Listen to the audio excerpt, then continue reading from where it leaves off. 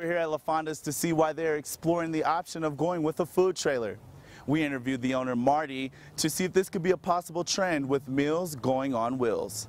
They started with that Food Network and they started putting all these uh, foodie type um, shows on there. Food trucks are really big right now and we figured let's let's give it a chance and see what we can do with it. People have been asking us to go to different locations, try to get a west side location and stuff like that. People want us in Phoenix, people want us in the reservation.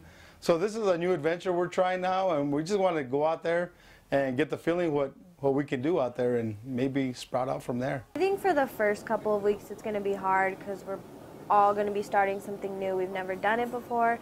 So I think it'll be a learning experience, but I think we'll catch on. We have a great staff who works here. We all catch on fast, so I think it'll work fine. Because we have a lot of people calling in for orders to go wanting the Taco Tuesday, but our kitchen's already maxed out as it is. And in today now, you know, we have an hour, hour, 45 minute wait to get in here. This way, if people wanted to go, they just come here to the trailer and order their tacos to go and go home and enjoy. The restaurant believes the trailer will help to alleviate a busy Taco Tuesday.